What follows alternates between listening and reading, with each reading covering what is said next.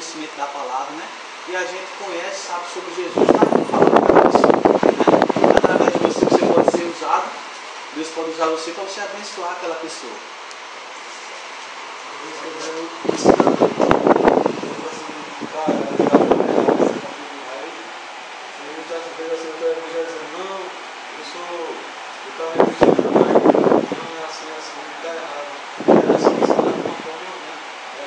Foi educado naquele sistema. Né? Não conhece. Foi. Aí foi criado na, tem pessoas que o irmão falou que se falar em crente, ele joga a bota para fora. É difícil, a gente, é um país católico, né? A está nos últimos 20 anos já evoluiu, o cristianismo evoluiu muito. E está incomodando, né? Está incomodando. E está então tocando uma ferida que, que, praticamente ele não quer. Nossa, porque, porque hoje os pastores estão fazendo gente que vai para frente. É de frente para trás, de todo lado. A gente, a gente tem a felicidade, primeiramente, Deus agradecer a Deus pela, pelo nosso pastor presidente, que é o Jair Magela, que Deus tenha abençoado ricamente ele. Que é o seguinte, é, gente, pouca, se você vê poucas igrejas que jogam, não jogam, como dizer assim, fazendo esse trabalho. Eu não vi até agora. Eu acho que é o primeiro. É pioneiro nesse, esse, esse, esse é da série, não. Não, isso aqui é o grupo da Chano Marinho. Pastor Melk, né? É o pastor Melk, né? Parabéns, parabéns, Deus abençoe. Deus, muito bem. Não, é ensinando. É, me botaram no Não é que eu não não, porque o adversário deve estar pisando e vai lançar. Eles me botaram no grupo uma igreja aqui evangélica. Eles me questionaram porque eu era da Paraná. Isso ontem, à noite, por volta de uma hora da manhã. E dali, uma vinda, chamou no meu WhatsApp no privado que estava e ela disse, irmão, olha, o vi, ela tinha visto que esse irmão lá tinha, a juventude lá tinha solado, e ali eu me recolhi na minha. E ali ela me expôs, a vida dela todinha. E ali, essa jovem ela tem 22 anos, e ela recebeu uma biópsia que ela está com câncer. Ela foi mãe há, há quatro meses atrás, ela era daqui, ela era daqui da cidade do sul, e até levantar com a juventude aqui para a gente falar sobre a vida dela. E ela citou para mim que o esposo dela trabalha suave e vem em casa uma vez ou duas no mês. E a dela ali ela está segurando a barra nesse momento de doença assim, um momento e difícil. E porque isso é uma doença que eu prejudicei com essa criança, que ela consome a pessoa dentro de dois palitos, num piscar de olho. É uma doença que consome rápido demais, ela maltrata as vidas. Então, no final, André, vai dar hora nessa abençoada de oração que ela está recebendo uma biópsia que está com com câncer, ela está muito desesperada. E deixa ela repousar e até esse momento as coisas. Como é seu nome? Kaique? é, Kaique, para aumentar um pouco a tua fé, ninguém joga pedra em árvore que não dá fruto, não. O povo só joga pedra em árvore que está dando fruto. viu? Então, é, ninguém vai lhe olhar, não espere alguém olhar para você. A turma, quando olhava para Jesus, eles atiravam nele, eles queriam chicotear, eles humilharam, eles cuspiram. E Jesus disse: se tu quer ser meus discípulos, né, tu tem que seguir a ele. Para seguir a Jesus, né, a gente passa por muitas coisas aqui. Mas não olhe para ninguém não, nem olhe para o que fala, olhe só para Jesus, que você vai prosperando cada vez mais. Amém? Às vezes só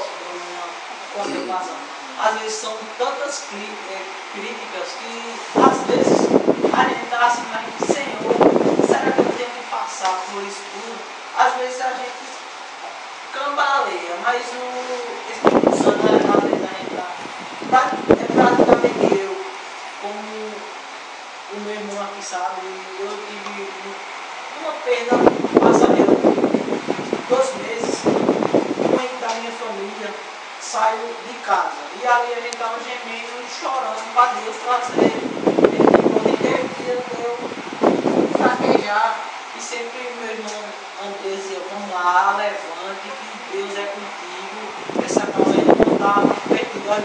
Quando Deus nos sobrou na causa, Deus, a, a- Deus pode, Deus pode tardar, mas Deus não tarda. A Bíblia diz que ele nem tarda e nem falha, ele só manda na hora certa. Então tudo é na hora do tempo. Se Deus permitiu você passar por alguma coisa, ou qualquer um aqui, é porque ele está simplesmente só provando. Para ver até onde vai a tua fé. Porque falar é muito fácil. É. Fazer, né? Falar é fácil, fazer que é o difícil. Né? A Bíblia diz que a fé, viu, Kaique? A fé é o firme fundamento das coisas que não se vê. Mas você acredita que isso vai acontecer. É crer no Senhor, acreditar, esperar que o tempo não é seu, é dele. O oleiro é ele. Ele amassa o barro e faz como ele quer. Então é só esperar, certo? Lógico que alguém vai ter que atirar pedra em você. Quem é que é de Jesus aqui que não foi, que não atiraram pedra? Se não atiraram pedra em você, desça depressa em oração, porque está faltando alguma coisa.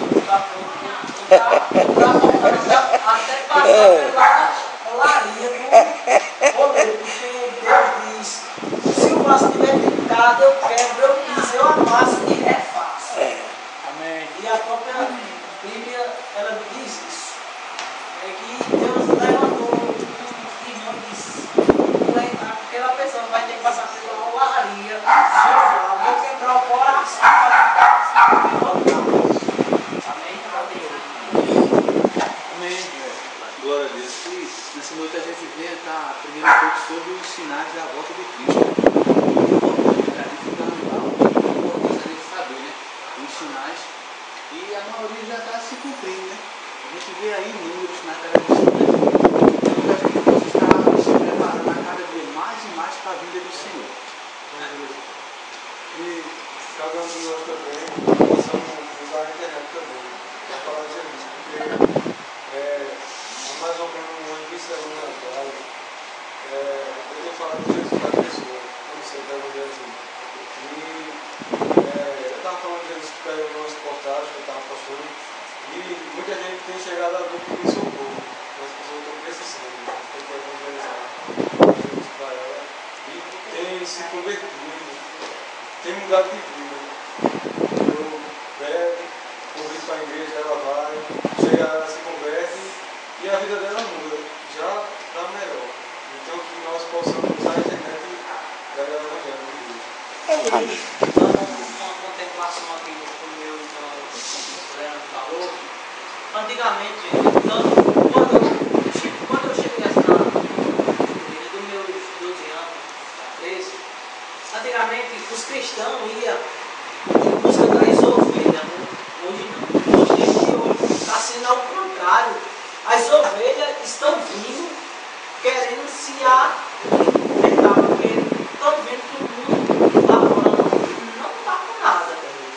Não está com nada, meu irmão. Mas é bíblico também isso que aconteça. Jesus disse, disse o quê? Se, a- se vocês calarem, as pedras irão, irão clamar. As pedras são ele que não conhece a palavra, estão clamando, pedindo ajuda, pedindo socorro, correndo atrás. Então é por isso, como o jovem ali falou, tem que aproveitar na internet? Tem. Certo? Muita gente vai pedir oração, faz, marca, escreve o nome da pessoa, dá uma palavra de ajuda, porque às vezes quem está do outro lado, às vezes está com a corda no pescoço, querendo tirar a sua própria vida. E uma palavra vindo de você, Jesus pode fazer grandes coisas e dar um livramento a ele. Então vai lhe ajudar. Você é instrumento de Deus? É. Não existe ninguém inútil. Ah, mas eu não sei nem falar. Mas uma oração você sabe fazer. Ah, mas eu não sei nem pedir. Mas você sabe louvar. Olha, não tem ninguém inútil na casa de Deus. Todos. Né? E estamos chegando num tempo, como ele disse aqui, final dos tempos, que é muita gente pedindo socorro. Viu? E cabe a vocês, porque sabe o que é que vocês têm, Jesus tem em vocês? Como atalaia. Sabe o que é atalaia? Uma atalaia é, é um centurião que fica atento a tudo que está por vir e sem o inimigo vir, ele grita. No, em Socorro, rapidinho, em Socorro, lá em Recife, que eu sou de Recife, eu estou aqui já há 17 para 18 anos, mas eu sou de Recife. Num lugar chamado é, em Socorro, é um quartel que tem lá. O Atalaia, o vigilante, ele deu um cochilo, entraram cinco homens, matou a equipe todinha que estava dormindo. Matou tudo. Um cochilo que ele deu. Então, Jesus nos tem como atalaia para advertir. Se você não avisa aquela pessoa, aquela alma, aquela alma morrer, Jesus irá cobrar o sangue daquela pessoa sobre a tua vida. Agora, avisado aquela pessoa, você livra o sangue daquela pessoa da sua vida. Aí Jesus não, que você avisou. Então, se ela vai aceitar ou não, é com ela e Deus. Agora, a obrigação você tem que fazer. Você está lá, amém? Glória a Deus. Bom, agora a gente vai estar. Uma dinâmicazinha.